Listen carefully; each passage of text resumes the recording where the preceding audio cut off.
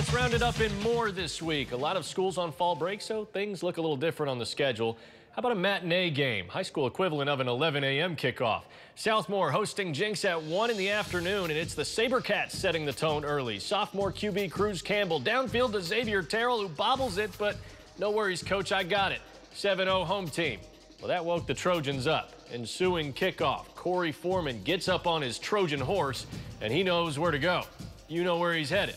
No one's going to catch him. 95-yard return, missed PAT, so Jenks still trails 7-6. But they'd respond, and they'd pour it on.